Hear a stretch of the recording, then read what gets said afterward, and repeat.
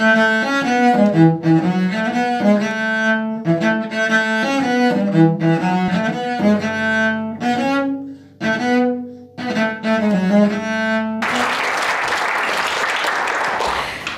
I'm Lucy, and I've chosen to do an extract from Midsummer Night's Dream, Act 2, Scene 2, spoken by Helena.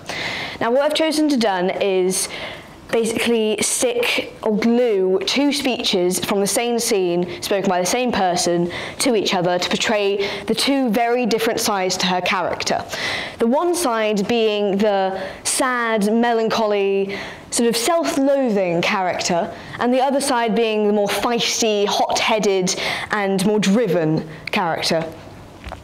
Now, I love Midsummer Night's Dream because I just really, really enjoy how Shakespeare describes the fairy and human world clashing and intertwining and merging with each other.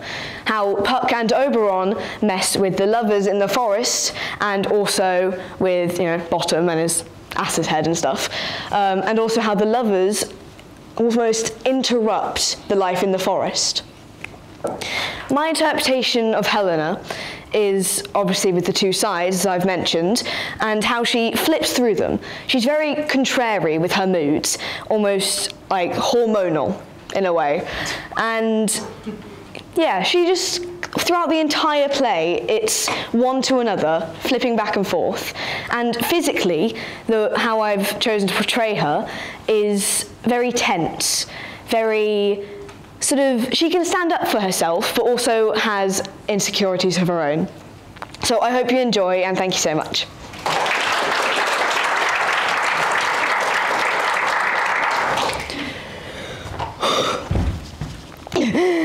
Oh, I am out of breath of this fond chase. The more my prayer, the lesser is my grace. Happy is Hermia, where Sir she lies, for she hath blessed and attractive eyes. How came her eyes so bright? Not with salt tears, if so, mine eyes are oftener washed than hers.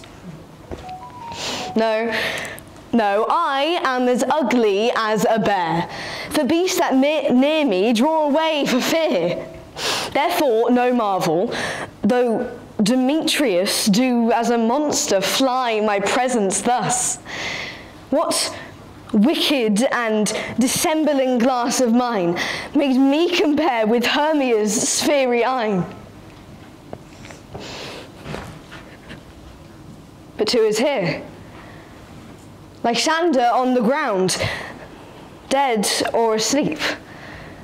I see no blood, no wound. Lysander, if you live, good sir, awake.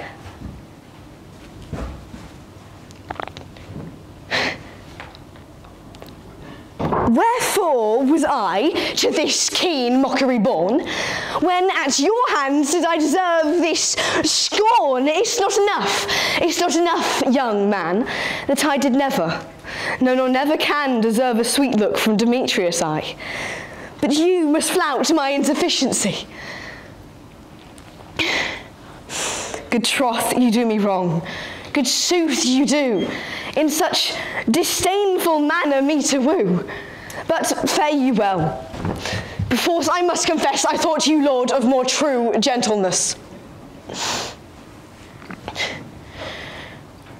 Oh, that a lady of one man refused should of another therefore be abused.